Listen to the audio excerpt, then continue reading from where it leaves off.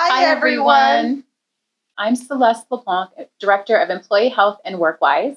I'm Lyquita Howard, System Infection Preventionist.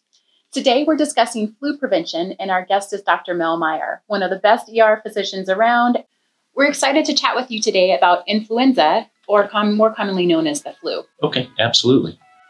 Every year, flu creates a large infectious disease worldwide. Can you tell us how big an impact this has on us here in the U.S.? In the U.S., approximately 52,000 deaths annually from influenza, and up to 100 or 710,000 hospitalizations annually. The people that are most affected are those with comorbidities, um, such as diabetes or long-standing medical illness or immunosuppression. Wow, that affects a ton of people. What are your recommendations on reducing the risk of flu each year? The main thing is make sure you get your vaccination. Vaccination is the first step in preventing influenza. The second thing is do like your mama told you wash your hands. After you touch something, make sure you wash your hands uh, all the time. Make sure you cover your mouth, or wear a mask, something to decrease the aerosolization or spread of it. And number three, if you're sick, stay home. Yeah, thank you for reminding us about those easy actions we can take to help prevent the spread of influenza. Absolutely.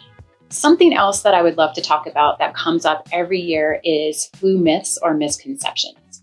So, one of the big things I hear quite often is I get sick right after I get the flu vaccine, and I think it gave me the flu. Can the flu vaccine really give you the flu? No, actually, the flu vaccine is a dead virus or a protein from the virus's shell which cannot give you um, active infection.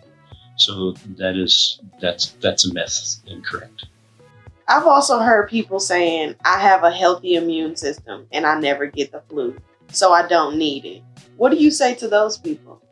So even though your immune system may be healthy and you might not have significant signs or symptoms of influenza, by getting the influenza vaccination, you decrease the spread of influenza. So I think it is important that everybody uh, that can get the influenza vaccination.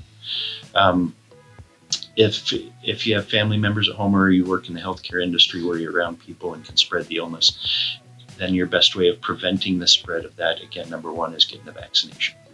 Thanks so much for sharing that information with us. So don't forget, get your vaccine like Dr. Meyer has told us.